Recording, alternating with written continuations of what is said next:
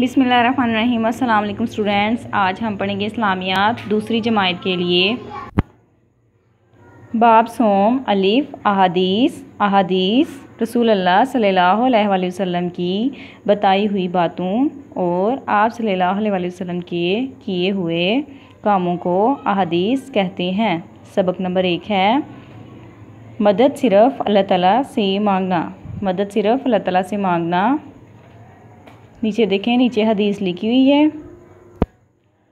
तर्जमा रसूल अल्लाह वसल्लम ने फरमाया, जब तुम मदद मांगो तो अल्लाह ताला ही से मांगा करो। जब तुम मदद मांगो तो अल्लाह ताला ही से मांगा करो। जब तुम मदद मांगो तो अल्लाह ताला ही से मांगा करो। तो बच्चों, ये थी आज की एक हदीस। ये आपने एक हदीस याद करनी है, ठीक है? ज़बानी इसको याद करना है। सवाल नंबर एक, पेंसिल फेर कर मुकम्मल करें। तो बच्चों, इसके ऊपर आपने पेंसिल के साथ, पेंसिल के साथ इसको मुकम्मल करना है, ठीक है? इसको ट्रेस करना है।